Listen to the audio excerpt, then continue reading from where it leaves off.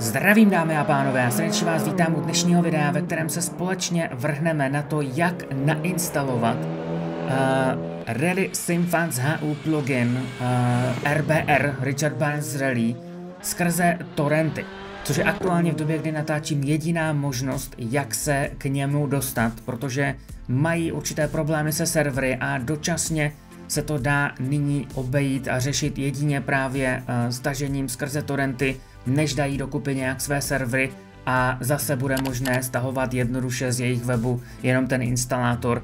Takže jsem se rozhodl, že udělám takové rychlé instruktážní video, kde vám to ukážu, vysvětlím, protože setkal jsem se s tím, že jste s tím někteří měli problémy, někde jste se zasekli u některého skroku, nebyli jste si jistí, nevěděli jste se, dotazovali jste se, takže snad tohle video nějakým způsobem pomůže, pokud ano, budu moc rád, když mu fouknete palec nahoru, no a teď už nebudu moc zdržovat, díky tedy ještě jednou všem a vletíme na to.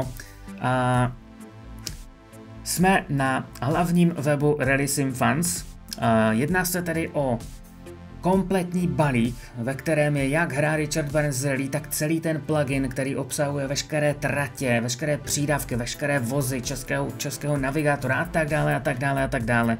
Čili je to celé kompletní balík. Um, v podstatě uh, potřebujete si tady na tomto webu založit účet, udělat, zaregistrovat se tady, abyste mohli se potom účastnit nějakých online rally a tak dále, takže samozřejmě se tady zaregistrujete, tady tohle nebudu vysvětlovat ve videu, je to běžná věc, kterou děláte určitě často na různých e, stránkách. A poté ale v tom hlavním menu si najdete do sekce Download, kde jednak je samozřejmě e, nějaké vysvětlení, nějaké odkazy na návody a tak dále. Nás tuhle chvíli zajímá především tento odkaz ke stažení e, torrentu se všemi těmi potřebnými soubory. Čili uložíte si ten soubor kamkoliv, kamkoliv si ho uložíte na PC, je jedno kam. A co k tomu budete potřebovat? Eh, budete k tomu potřebovat jeden programek a sice Qubit Torrent, anebo nějaký jiný program na torrenty, pokud se v tom vyznáte. Eh, tvůrci tedy i já doporučujeme jednoduchý zdarma programek Qubit Torrent, odkaz bude v popisku, vydá na něj, anebo když jste na webu Releasing Funds a rozkliknete si ten jakoby instalační návod, tak tady také ten odkaz je qubittorrent.org, takže tento programek si stáhnete. Pokud byste ho nestahovali z odkazu ode mě z popisku videa, tak tady je ta stránka z toho odkazu, tady je také download sekce, tady je sekce pro Windowsy, a to, na, to vás přenese sem. Je tady několik eh, variant, vás zajímá eh, v podstatě ta nejhornější Qubit Torrent Windows X64. Poté, co si nainstalujete ten program Qubit Torrent, spustíte ho, tak to bude vypadat tedy. A zásadní je pro nás v levém horním rohu modré kolečko s pluskem, s křížkem, přidat torrent soubor. Během instalace toho Qubit Torrentu si tam můžete nastavit i češtinu, takže to budete mít česky modré kolečko vlevo nahoře, na které kliknete a přidáte ten torrent soubor, který jsme stahovali před chvílí z té Rally Fans HU stránky. Uložit jste si ho mohli kamkoliv, takže si ho tady najdete, kde jste si ho stáhli, označíte jej a dáte otevřít. Os, naskočí vám eh, toto okénko, kde v podstatě nemusíte nic vůbec řešit. Klíčová je jedna věc tady uložit jako. Uložit jako a zde si musíte eh, navést cestu, kam se to vše stáhne a kde potom ta hra samotná bude, až se to stáhne. A tady je klíčová věc, nesmíte to navést nikam do žádných systémových uh, cest. Uh, čili nesmí to být někde uh, v program files, nesmí to být uh, na ploše, nesmí to být, uh, já nevím, v dokumentech, ve stažených, C-users, stažené dokumenty, obrázky, žádné takové systémové cesty.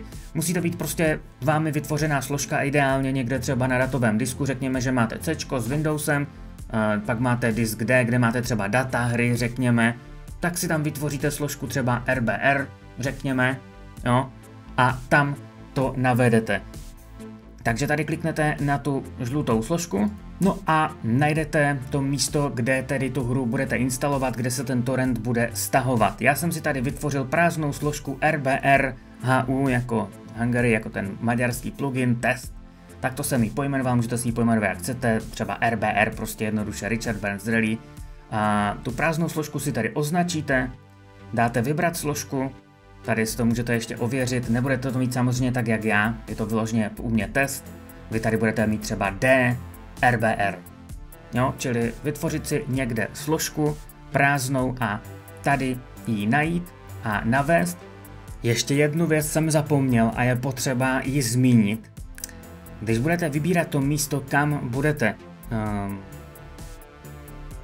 ins, jakoby stahovat ty věci z toho torrentu, uh, tady v tomto kroku, je potřeba zvolit nějaké místo na disku, kde budete mít dostatek volného prostoru. Uh, on jakoby, ty věci z toho torrentu jsou jakoby zabalené a mají nějakých jenom 30 giga. Nicméně potom ta celková instalace po té, co se dokončí se vším všudy, se všemi tratěmi, vozy a tak dále, má přes 100 giga, je tam toho opravdu hodně, přes 450 RZ myslím. Takže potřebujete opravdu to zvolit někam, eh, kde budete mít dostatek místa, takže na to myslete uh, už při tomto kroku uh, u toho torrentu, kde tedy tady nastavte uh, místo, kam se to má tedy jakoby stáhnout, ale musí tam být minimálně aspoň, aspoň těch 150 GB volného místa, aby tam bylo. Tady nebudete víceméně vůbec nic řešit, necháte vše označené tak, jak je a jenom dáte OK. To je úplně vše. A nyní se vám to spustí, rozjede a začne se vám to vše stahovat. Takže Musíte chvíli počkat, bude záležet samozřejmě na rychlosti stažení, ale jakmile se dostanete na 100% a budete to mít vše kompletně stažené, tak budeme pokračovat. No a jakmile se vám dostahuje, budete mít 100%, bude to kompletní, tak se vrhneme na další krok. Pokračujeme tedy dále. Vrátíte se zpět na internetové stránky Radisim Fans, eh, tam, kde jsme byli, a tady kousek níže pod tím odkazem na stažení torrentu, který jsme odsud stahovali, ten soubor s torrentem, je tady odkaz na stažení aktuálního instalátoru nejnovější verze toho pluginu. Čili taktéž kliknete a stáhnete si ho někam, kam uznáte za vhodné, je to exe soubor spustitelný, um, uložte si ho kam chcete, No a jakmile se vám stáhne, tady je Ready Fans Installer momentálně, momentálně verze 1.37.2 exe, tak ho spustíte.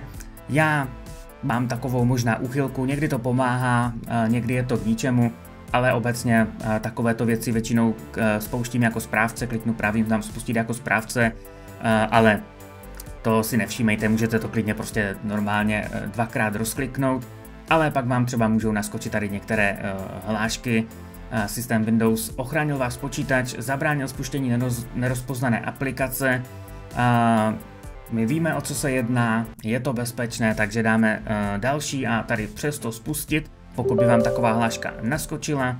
A ano, chceme povolit. A následuje instalace. A tady zvolíte angličtinu, je tam další potom jenom maďarština, takže dáte English, dáte OK. A tady dáte Next. A nyní potřebujete uh, najít tu složku, kam jste stahovali ten torrent. Takže kliknete na Browse, no a najdete si ji tady, pokud si pamatujete před chvílí, tak jsem vytvářel složku RBRHU test. Bavili jsme se tam o tom, tam se stáhly ty věci z toho torrentu a tady také navedeme tu hru.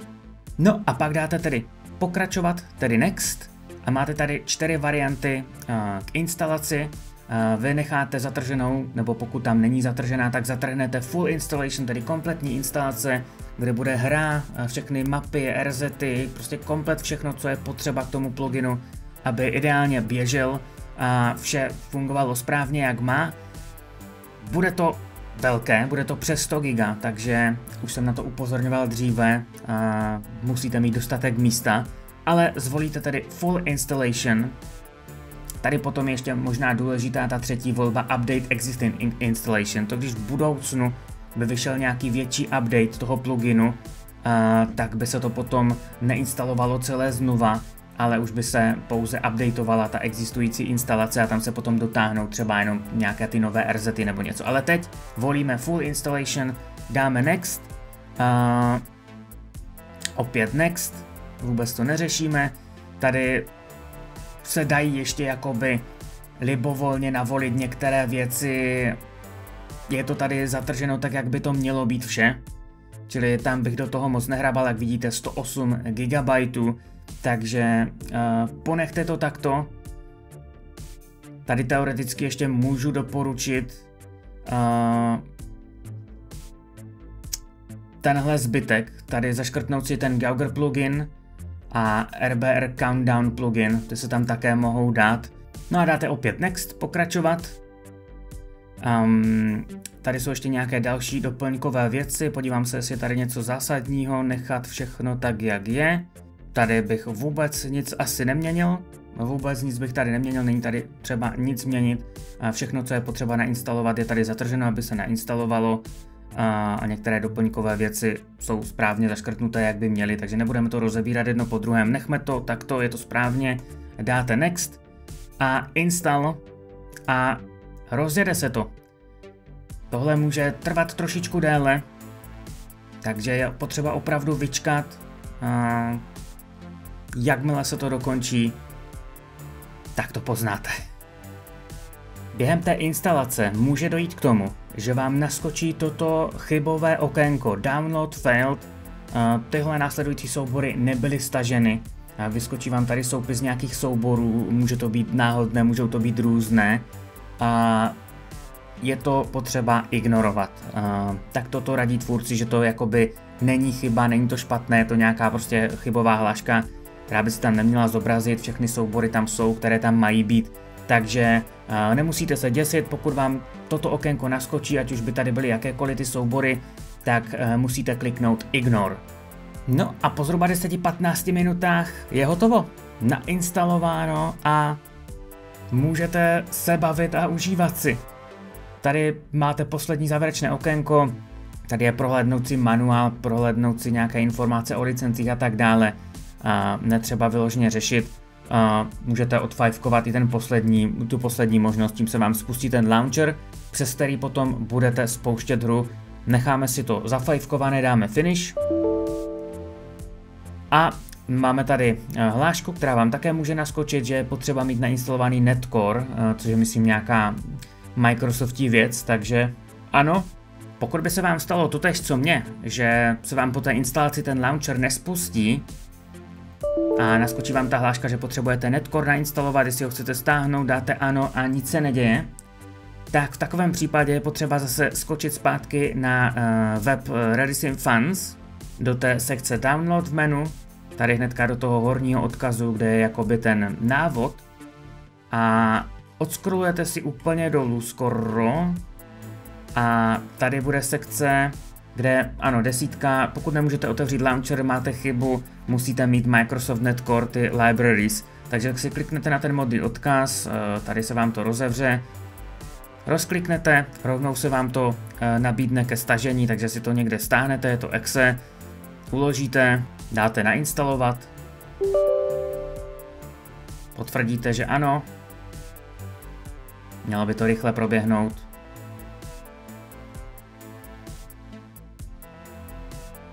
A hotovo. Nyní už by nám ten launcher měl jít spustit. Takže doufejme, že ano. Je to tak, je to tak, máme ho tady. Pokud by se vám náhodou stalo, že tam ten launcher mít nebudete, a, tak e, skočíte do té složky, kam jsme instalovali tu hru. U mě jsme to měli RBR HU test.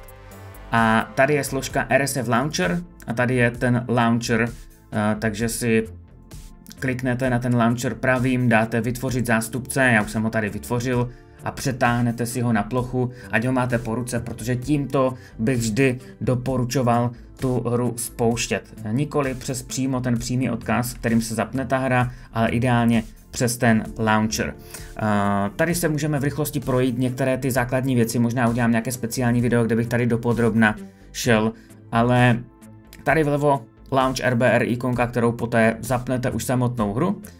První políčko je tady Ready Sim Funds. Tady si vložíte vaše jméno a heslo, které máte použité na registraci na tom Ready Sim Funds webu, aby vás to propojilo správně s těmi online rallymi, které budete jezdit.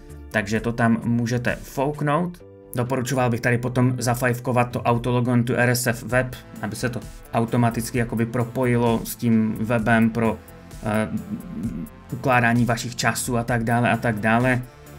Um, tady víceméně nic moc zásadního. Um, tady si můžete nastavovat uh, hlasitost zvuku motoru, protože ve hře jsou uh, propracovanější speciální F-mod zvuky motoru um, a tam se ta hlasitost neovládá přes, uh, přes hru nastavení, ale tady tímto, takže pokud byste chtěli, můžete si to tady trošku, trošku pošťouchnout, stlumit nebo zvýšit. Um, tady jenom v rychlosti, tady je potom uh, záložka, kde se vám budou ukládat uh, vaše uh, soubory s hláškama pro navigátora. Uh, vždycky se poprvé tady objeví, až když poprvé jakoby vjedete na tu RZ a projedete ji. Do té doby tady jakoby to neuvidíte, jakmile ji projedete aspoň jednou, tak už se tady zobrazí třeba semetín, budete tady mít semetín a tady budete mít uh, na výběr uh, ty soubory, pokud jich budete mít třeba více, možná udělám potom nějaké speciální video ohledně hlášek navigátora, protože je to docela důležitá věc, ale o tom tohle video není, takže tohle prozatím nemusíte řešit. Tady se vám potom ukládají replaye, tady je nastavení určité grafické, takže tady zvolíte nastavení vašeho rozlišení, normální full screen mod by měl fungovat jako borderless full screen, takže to by mělo být v pohodě. A potom je tady v tomhle RSF eh, maďarském pluginu speciální vylepšení grafické, které opravdu záleží na vás, jaké máte PC, jak silné máte PC, ale myslím si, že to není nějak extra náročné, že i na slabších PC by to mělo jít rozjet. A to je sice Vulkan Graphics Mod, eh, ze základu je vypnutý, můžete si to otestovat, buď dáte Vulkan, a nebo pokud používáte SimHub overlaye, tak Vulkan plus SimHub, aby se správně to zobrazovalo. Um, a jakmile dáte Vulkan, tak se vám tady objeví možnost anti-aliasingu. Takže můžete vyzkoušet, uh, mně to běží relativně v pohodě i na SRS 8, což je ta nejlepší volba, kde to krásně vyhladí ty hrany.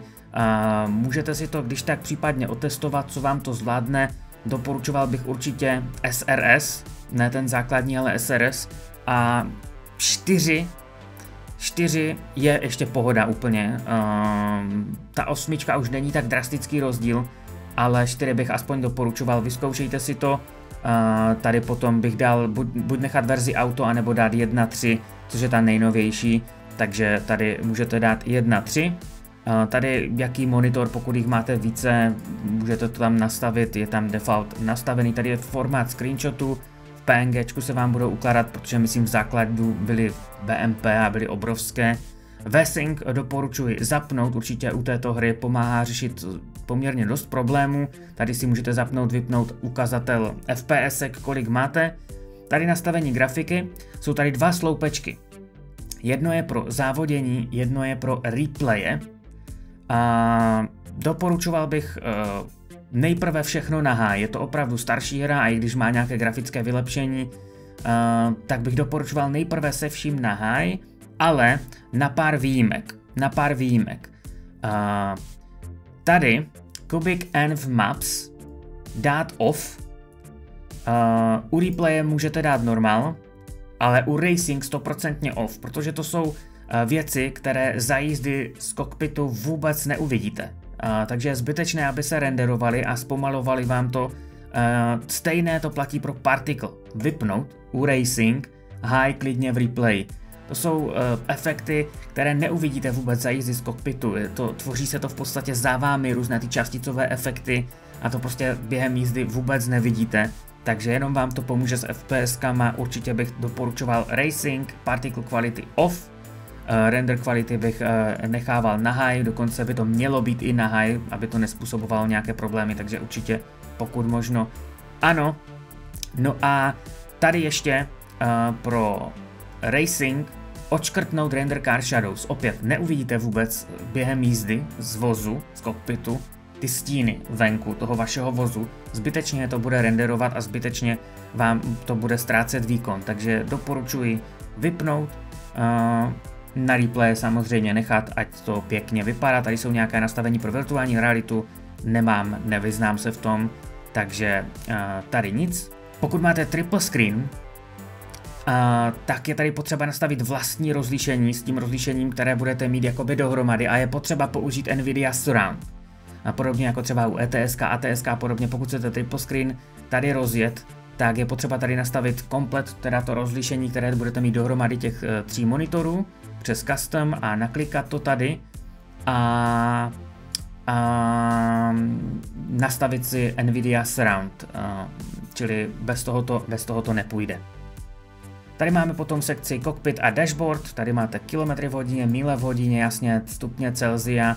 A tady je vizuální uh, úhel otáčení volantu, jinak já tohle natáčím ten tutoriál na druhém PC, protože na simulátoru na Rigu už to mám nainstalováno všechno, takže abych to mohl natočit, abych to vše ukázal, tak jsem to raději dal na tom druhém PC, takže tady spousta věcí není nastavena. Uh, jak bude vypadat ta animace toho otáčení volantu ve hře, uh, jenom graficky. Takže když budete mít nastavený úhel otáčení volantu třeba na 720 u některých aut, tak aby vám to odpovídalo a točilo se vám to stejně jako váš volant, který budete držet v ruce, tak uh, 720 dáte i tady. Tady je, jaká bude kamera z základu, tam nechte default. Um, tady je s tím asi musíte pohrát. Tady je nastavení různých takových těch hadů, těch ukazatelů. Um, uh, DigiDash Full, DigiDash Mini, Gauger plugin, můžete si je vyzkoušet, otestovat. Um, doporučil bych možná DigiDash Full a zkuste no, Default Full, a jo, jakmile to zvolíte, vždycky tady apply, apply changes, apply changes, potvrdit a poté teprve spustit hru. Um, záleží na vás. Někdo, někdo využívá hlavně uh, SimHub, takže tady to jakoby nepotřebuje. Tady tyhle tři věci, uh, z, volant v kokpitu, buď ho nechat, nebo schovat, anebo ukázat. Jo, že vám to skryje volant, někdo nerad jezdí, že vidí v tom kokpitu i kousek toho volantu virtuálního, když má ten svůj před sebou, takže si ho může schovat. To samé se tady dá udělat se stěrači a tady tohle mě třeba pomohlo, windscreen, čelní sklo, eh, když dáte hide, jakoby schovat, tak bude jakoby čiré. Protože třeba například Fabka R5 Evo má na tom uh, čelním skle takové speciální stínění, asi proti sluníčku to mají ti jezdci nebo co, ale je to takové strašně tmavé a mně to připadalo osobně úplně nepříjemné a blbě se mi s tím jezdilo. A tady je ta možnost to jakoby skrýt nemusíte být obavy, jakoby, že by tam nebylo sklo, že třeba když se nabouráte, že to nepraskne, že budete mít nějakou, eh, nějaký cheat nebo něco, ne, to sklo tam jakoby normálně bude, akorát bude čiré. Dá se toho dosáhnout i uh, úpravou konkrétní textury, když děláte třeba skin, ale tady je to jednoduché, jedním kliknutím dáte hide a budete mít jakoby čiré to čelní sklo bez nějakých těch nesmyslíků. Potom tady controls, tady asi eh, nejdůležitější, co bych doporučil, 3, 2, 1 countdown post. Tady to si zapněte, mějte to zapnuté. Způsobí to to, že na startu RZety hra vyčká na vás, až zmačknete, myslím, ruční brzdu, eh, jednou nebo dvakrát, a teprve poté se spustí finální odpočet a vletíte do akce. Eh, takže budete mít v klidu čas si třeba, já nevím, pohrát s kamerou, aktivovat si hlášky navigátora nějak, a tak dále a tak dále. Takže tohle bych doporučoval mít zapnuté. Um, použít force feedback ano. Um, tady se potom dá nastavovat jakoby úhel otáčení pro jednotlivé vozy, ale tohle já nevyužívám, mám ve Fanalab profilu pro volant udělané profily, um, tady, to, tady to neměním, ale dá se to i takto a tady už myslím vyloženě nic. Advanced Options, ano, ještě tady jsou Advanced Options, a tady potom, jakmile uh, pojedete s nějakým vozem, tak se vám tady ten vůz ukáže a budete tam mít nějaká doplňková nastavení, kde si můžete nastavit individuální sílu force feedbacku pro, um, pro daný vůz a nastavit si tam pár dalších věcí. Tady je potom ještě telemetrie, um, nějaké pluginy další. Um, tady už to není úplně až tak podstatné. Když se ještě vrátíme do sekce controls, tak bych úplně zapomněl, Uh, adaptivní force feedback bych nedoporučoval zapínat. Uh, můžete to otestovat, ale potom budete mít problém s FPSky po startu RZ, ale ono se to potom vyrovná. Pokud máte jakýkoliv monitor více než 60 Hz, což už má dneska spousta lidí, tak to vůbec ničemu nepomůže a absolutně to nepoužívat v takovém případě. Pokud máte 60 Hz monitor, může to mít ještě nějaký efekt pri Uh, můžete to otestovat, ale upřímně se v tom až tolik nevyznám. Testoval jsem to, dost lidí to um, doporučovalo mít vypnuté, pouze tedy ten Use FFB efekt z toho horní mít zapnuté. A tady se nastavuje, upravuje force feedback pro váš volant, kromě teda toho vašeho vlastního nastavení třeba v Trustmaster panelu nebo ve Fanatec labu, Fanalabu a tak dále, tak tady čím nižší číslo, tím jakoby ostřejší, drsnější force feedback, výraznější, ale nemusí být tak detailní. Takže je potřeba si to vyladit, vyzkoušet, otestovat. Um, záleží, jaký má člověk volant. Uh, já osobně jsem se různým lazením, testováním dostal zhruba na nějakých 550, je tady zvlášť šotolina, uh, sníh a asfalt. A mám, myslím, 550 defaultně, s tím, že u favoritu třeba jsem si musel ubrat, protože ten force feedback byl takový slabší, takže jsem jakoby ubral to číslo, myslím, na 300 a je teď ten force feedback s tím favoritem uh, silnější, ale jinak obecně jsem, myslím, byl u 550, ale musíte si to otestovat, vyzkoušet, vždycky zase nezapomenout uložit, uh, ať to máte uložené. No a tady už jsme ve hře, hra by vás automaticky měla nahodit přímo do menu toho Rally Sim Fans pluginu, kde je přístup k online rallym, tady je time trial, časovka hodleb, practice, potom trénink, kde si jednoduše navolíte uh, RZ, jakoukoliv, kterou uznáte za vodné. Uh, jo, tady all, když si dáte, tak tady najdete úplně všechny, všechny ty RZ, české, slovenské, jakékoliv, je tady obrovská hromada. A tady samozřejmě si můžete navolit vůz, tady ještě důležitá věc, tady je samozřejmě ještě počasí. Tady poprvé, když pojedete s nějakým vozem, se kterým jste ještě nejeli, tak eh, je tady důležité eh, download. A když dáte download, tak uh, ta hra aktivuje a stáhne vše potřebné pro ten vůz. Setupy, fyziku, model a tak dále. Teď od této chvíle Kdykoliv už byste příště jeli s Citroenem Xarou VRC 2026, už to nemusíte řešit, je to hotovo. ale teďka, když si dám třeba jiné auto, tak už tady vidíte, že to tady opět je. takže když pojedete vždycky poprvé s nějakým vozem, je potřeba kliknout na to download, je to vteřinka, okamžitě hotovo a potom pohoda. Takže to je důležité, tady jsou potom setupy a tak dále, nastavení pneumatik. Když byste se escapem proklikali až do hlavního menu té hry, tak tady vůbec uh, nic z toho v podstatě nebude fungovat, kromě options, takže tam bych do toho vůbec nelezl. Uh, tady je ten Redising Fans HU plugin a tam teprve se potřebujete dostat. Když dám Escape, jak vidíte, tak tady, tady z toho nic nefunguje. Options nastavení ale ano a tady jsou některá nastavení mm, uh, controls, tady samozřejmě si musíte potom nahodit uh, váš volant, a jsou tady tlačítka různá, jo, na, nastavit si plyn, řazení a tak dále. Takže tady si to udělat. A uh, taková zvláštnost, escapem, po té, co něco změníte, po té, co něco změníte, tak mačkat escape do té doby, než vám naskočí tahle obrazovka. Změnili jste nastavení, chcete uložit profil, dáte yes jinak se vám to neuloží.